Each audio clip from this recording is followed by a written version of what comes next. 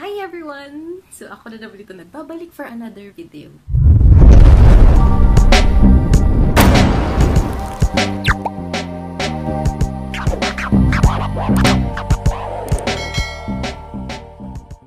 So as you can see sa title, my new vlogging camera. So ano nga ba yung new vlogging camera ko? By the end of this video, sasabihin ko kung ano ang aking bagong vlogging camera and bakit ko siya pinili. So, without further ado, let's get started. Sa mga bago pa sa aking channel, don't forget to subscribe me and click the bell button down there. So, ayun nga guys, nakabili na ako ng new vlogging camera ko dahil sa one year ko na pag-YouTube, cellphone lang yung gamit ko sa pag-film ng mga videos ko, sa pag-film ng aking vlogs, and then, with the help of my partner, bumili na kami ng vlogging camera which is not so expensive, but for me, it is an investment dahil sa wakas may vlogging camera na talaga ako guys. Alam niyo ba guys, madaling araw na po tayo ngayon. And I'm not planning to vlog this video but then nakita ko tahimik yung area so ako lang mag ako lang isang gising pa.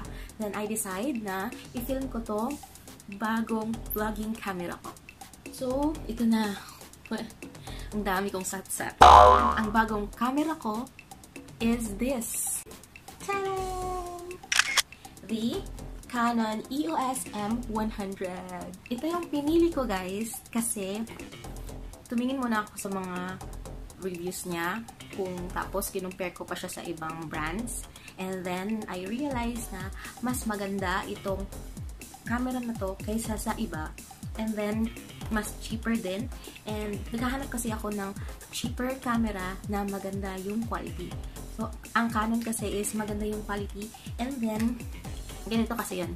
Yung Sony kasi, yun, yun sana yung gusto ko, Sony 5100, but then, hindi matatransfer ang videos niya sa Android phone ko, which is, kailanganin akong bumili, and then, wala kasi akong laptop. We have personal computer, but then, hindi ko alam if ma-edit ko siya doon, kasi sa phone lang po talaga ako nag-edit ng videos.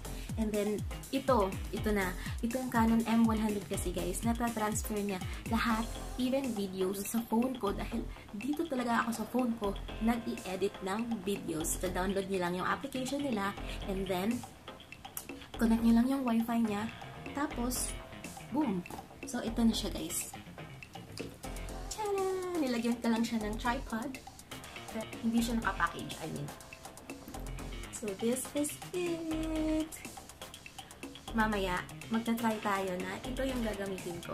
Kita niyo talaga ano ang difference ng quality ng video niya kung cellphone or itong camera. So, i-on na natin guys. Oh my God. Na-on na siya.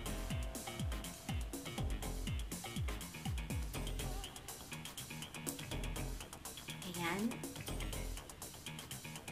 So, naka-flip siya. Look. So, makikita mo talaga yung sarili mo sa flip screen. So, magta-try na akong mag-video gamit ito. So, hello everyone! So, ito na yung gamit ko.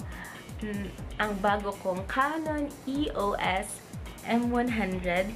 So, nagbablog ako ngayon. Look. This is my phone kasi phone lang yung ginagamit ko mag-vlog. And then, with my ring, with my ring light, and nandito lang ako sa sahig ngayon kasi gusto kong spot na to dahil white yung background.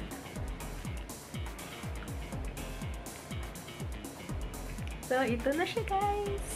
Oh my God! Kitang-kita talaga yung mga freckles ko dito. Oh my God! So, ito transfer na. So, ito transfer ko na kayo dito. In 3, 2, 1, At ito na nga ang gamit ko, itong M100. So, di ba nakita nyo talaga ano ang difference ng video quality niya. Alam nyo guys, hindi ko pa ito set ang camera sa dapat na iset. This is the default settings and later later ko pa to i-edit yung settings. That's all for this video. Thank you guys for watching and I will see you in my next video. Bye-bye!